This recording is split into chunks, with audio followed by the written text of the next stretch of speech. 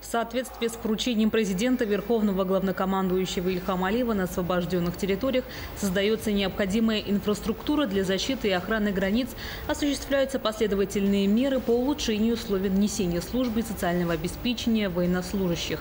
В течение прошлого года в Джабраилском, Зангеласском, Губадлинском и Лачинском районах к служебно-боевой деятельности приступили 19 новых воинских частей, более 100 погранично-боевых пунктов.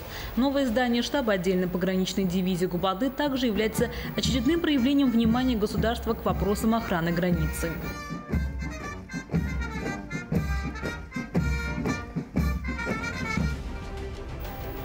Здесь имеются рабочие помещения, обеспечивающие необходимые условия для несения службы личным составом на высоком уровне. Конференц-зал, дежурный кабинет. Здание обеспечено постоянным водо- и электроснабжением, системой отопления. Территория благоустроена.